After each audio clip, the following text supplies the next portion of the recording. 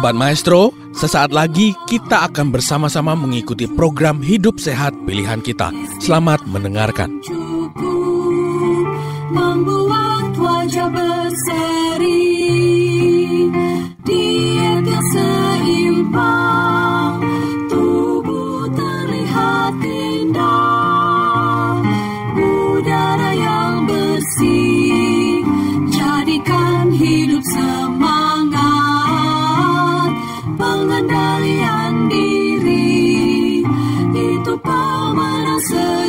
sejati Hidup sehat Anugerah Tuhan Hidup sehat Sangat berharga Sepuluh hukum kesehatan Hidup sehat Baik, bertemu kembali bersama dengan kami dalam program Hidup Sehat dari Rumah Sakit Advent Bandung.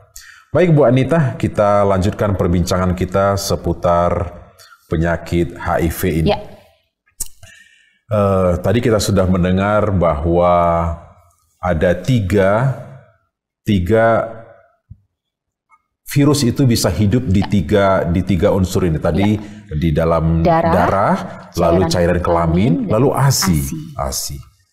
Lalu kalau begitu apa praktek atau kebiasaan-kebiasaan yang bisa membuat kita tertular dengan hal-hal seperti uh, virus ini? Iya. Apa yang menyebabkan bisa tertular kita? ya, ya. Jadi Pak, Ya. kita jabarkan satu-satu. Ya. Yang pertama tadi dari darah. Dari darah. Biasanya aktivitas-aktivitas yang bisa menularkan dari darah adalah eh, tato, Tato. memakai tato dengan Oh. jarum suntik Oh, yang tidak jarum, steril. Menggunakan jarum yang mungkin yang berganti-gantian Iya, ya, iya. yang nggak ditukar, yang Iya, nggak diganti betul. ya. Jadi sebaiknya untuk teman-teman yang ingin memiliki tato harus dipastikan bahwa hmm, jarum suntiknya steril. Steril. Steril. Yang pertama adalah tato. Yang kedua adalah penggunaan jarum suntik secara bersamaan Oh, kepada teman-teman yang menggunakan narkoba. Hmm, yang pecandu-pecandu Pecandu narkoba, ya, narkoba, karena- yang menggunakan jarum suntik Iya. ya. Waduh itu sangat berisiko sekali Iya, ya. iya. karena kita tidak tahu apakah dia positif atau dia Oke. negatif. Jadi jarumnya harus steril juga. Dan biasanya itu pecandu itu mereka tidak pikir-pikir ya. Ya. Yang penting ada ada Ada alat untuk ada alatnya memasukkan. suntik. Yang penting ada masukan alat narkoba itu. Ya. Mau jarum dari mana nggak masalah sama mereka. iya. Jadi itu itu yang itu yang It- kedua ya. Itu yang kedua. Dari tato, lalu kemudian jarum suntik. Kemudian yang ketiga melalui transfusi. Oh transfusi darah. Iya. Mungkin kalau Hmm. zaman sekarang eh, sudah sangat bagus dari pihak eh, di mana kita bisa transfusi tetapi melalui filter yang begitu banyak. Filter yang begitu Jadi banyak, Pak ya. ya, itu yang pertama tadi penjabaran dari Darah. darah. Yang kedua kegiatan apa yang bisa menular? Iya. Yang kedua tadi dari cairan kelamin. Tentunya hubungan beresiko atau hubungan seksual eh, yang berganti-ganti pasangan. Hmm, oh, itu dia. kemudian tidak memakai kondom atau pengaman. Tidak memakai pengaman itu sangat berisiko ya. Sangat Bisa beresiko. tertular HIV. Bisa tertular karena virus itu ada di cairan kelamin. Iya. Yang ketiga dari ASI. ASI. Tentunya dari seorang ibu yang positif, Hmm. Yang dia tidak mengetahui statusnya bahwa dia positif atau tidak, menularkan kepada calon bayi atau bayi yang baru la- Bayi yang dilahirkan dan dilahirkan. disusui. Oh, duh, Seperti iya. itu. Sangat- Jadi hmm. sekarang pemerintah menggalakkan semua ibu hamil wajib dicek HIV-nya. Dan itu Oke. sudah menjadi program sebelum men- pemerintah. sebelum menyusui begitu maksudnya atau Pada saat kehamilan. pada saat kehamilan Ya, ya, ya. harus dicek HIV-nya. Ya, ya. Jadi untuk informasi para Hmm. pemirsa, pada saat sekarang ini pemerintah menggalakkan program bahwa semua ibu hamil Hmm. harus dicek HIV.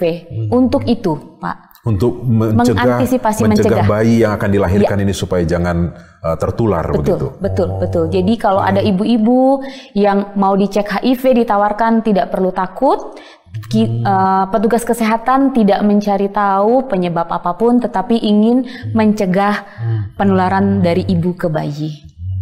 Iya, selama ini memang yang kita tahu hanya melalui darah dan juga cairan kelamin. Iya, iya. Tapi sekarang berkembang lagi dari ASI ibu ya kepada anaknya, kepada bayi. Iya. Itu bisa menularkan, Iya. bisa menularkan Iya, ya. iya, betul, betul, Waduh, betul, jadi ibu-ibu ibu-ibu diminta yang hamil atau yang mau merencanakan kehamilan dicek itu apanya? Di, dites uh, tes HIV-nya begitu ya? Ya, ya. Oke, Karena itu sudah program pemerintah. Program pemerintah ya, ya. Disu- program di- pemerintah. Didanai oleh pemerintah juga. Didanai pemerintah. Jadi ini uh, termasuk ini sosialisasi lah Ya. supaya masyarakat memahami ya, Ya. bahwa penting bagi seorang ibu yang ingin atau yang sudah punya anak untuk memeriksakan apakah mereka apakah mereka terinfeksi HIV atau tidak ya. Oke, jadi kita sudah tahu ya tadi bagaimana cara orang bisa tertular ya dengan perilaku yang tidak sehat, menggunakan jarum suntik yang tidak baik, lalu kemudian yang free berganti-ganti pasangan ya, Ya, berganti-ganti pasangan. Kita tidak tahu pasangan itu dia tertular. Kalau dia tertular, kita bisa tertular kan Ya, begitu betul, ya. betul, betul. Lalu ada ada yang mengatakan eh, itu tertular juga melalui ASI, tapi ada juga hal-hal yang lain, misalnya eh, pisau cukur contohnya, pisau cukur, Eh, cukur dia dia orang yang lain pakai, lalu kita pakai, mungkin dia terluka, lalu dia kita pakai itu, apakah itu bisa menularkan juga, Bu Ya. Anita? Eh, kalau untuk pisau cukur memang diwajibkan itu mem- memiliki eh, pribadi, Iya, Pak. pribadi. Jadi seperti pisau cukur, sikat gigi itu hal-hal yang sifatnya pribadi. Kalau pisau cukur dia baru saja dipakai oleh seseorang yang positif, kemudian dia berdarah, tentu saja akan menularkan kepada kita yang eh, memakainya kembali. Seperti itu. Memang dalam penularan ini ada prinsip eh, di mana eh, virus tersebut keluar dari badan seseorang yang positif, kemudian masuk ke badan seseorang yang negatif, ada pintu masuknya juga.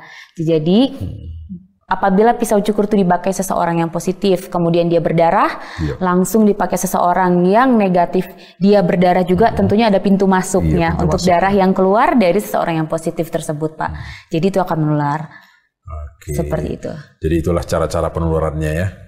Jadi sebaiknya bagaimana caranya supaya kita terhindar dari penyakit HIV ini, Ibu Anita? Ya. Ya. Eh, kembali pemirsa, tadi sudah kita bahas virus HIV hidup dalam darah, ASI kelamin. dan cairan kelamin. Tentunya kita harus menghindari hal-hal yang tadi sudah disebutkan di atas.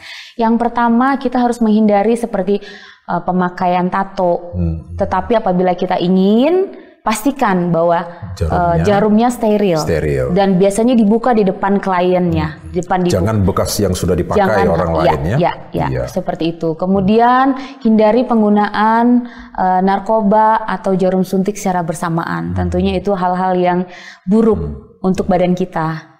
Yang ketiga, eh, sebisa mungkin hidup sehat supaya kita tidak mengalami sesuatu yang membuat kita harus ditransfusi. Oke. Seperti itu, Pak. Itu dari darah. Darah ya. Yang kedua dari cairan kelamin, tetaplah setia kepada pasangan, kita. pasangan resmi gitu Iya, ya. seperti itu. Karena ada pasangan yang tidak resmi gitu ya. Iya betul dan selalu menggunakan eh, pengaman. Hmm, hmm.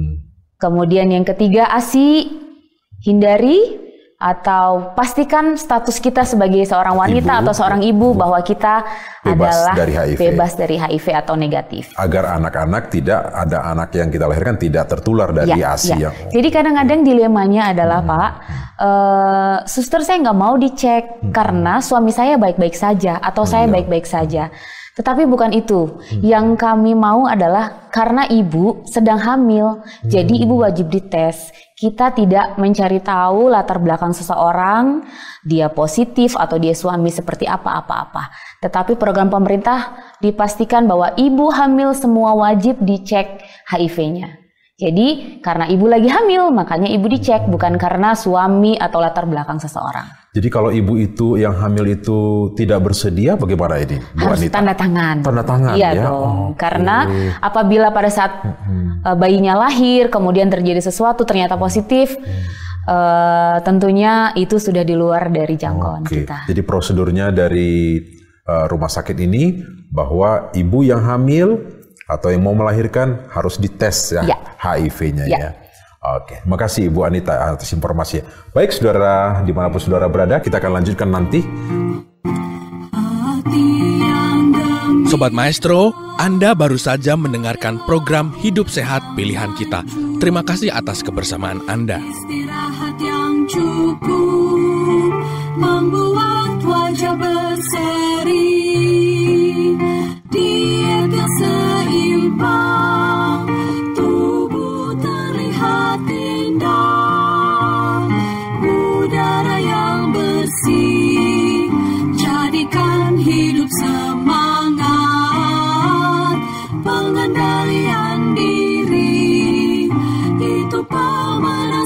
sejati Hidup sehat Anugerah Tuhan Hidup sehat Sangat berharga Sepuluh hukum kesehatan Hidup sehat.